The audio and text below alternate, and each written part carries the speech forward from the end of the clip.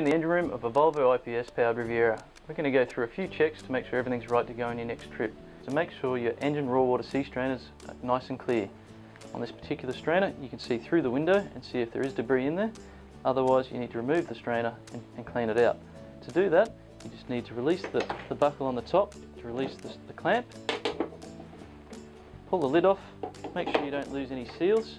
Pull the strainer out, clean it out as required and then refit.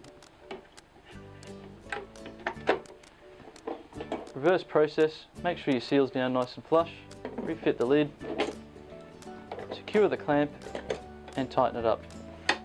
Then run the engine to make sure you haven't got any leaks and also check the water flow through the strainer. That's it, all that's required.